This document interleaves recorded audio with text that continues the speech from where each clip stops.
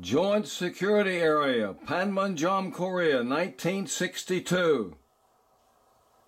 Military Police Escort for United Nations, NNSC, diplomats. And Bob Hope and his entourage. Lana Turner, Anita Bryant, Miss USA 62, Les Brown, and others. And here are the pictures. Bob Hope, Lana Turner, pictures at Panmunjom, Korea, Janis Paige,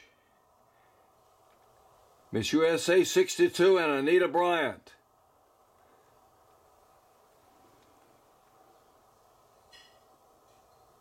Those were the days.